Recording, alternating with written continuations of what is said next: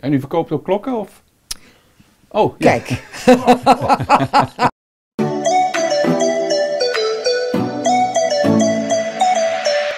Nou, er komen, we komen inderdaad eh, spullen tekort. We hebben natuurlijk de coronatijd gehad, waardoor eh, heel veel mensen eh, aan het opruimen zijn geweest. Ehm, en die opruimen eh, is nu klaar. Ehm, dus ja, dan komen we spullen tekort. we hebben ook een tekort aan eh, spullen.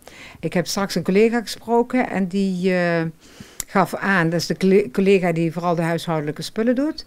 Die eh, kwam aan pannen, potten, eh, glazen, borden, bestek, eh, schalen, al dat soort dingen. Wordt, ja, is nu, staat vrij ruim gesort, eh, uitgestald, maar er is aan de voorraad helemaal niks meer. Dus wordt het morgen verkocht of overmorgen, dan is er geen aanvoer meer. Dus dat is jammer. De spullen die bij ons gebracht mogen worden, eh, moeten wel verkoopbaar zijn.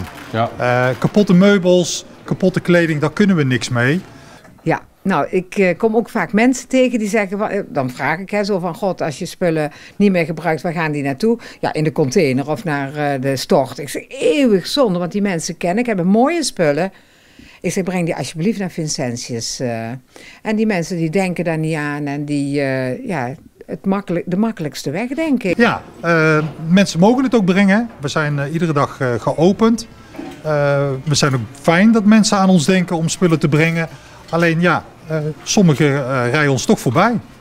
Wij rijden dus ook regelmatig naar de stort toe met spullen die dus echt niet verkocht kunnen worden. Nee, oké. Ja.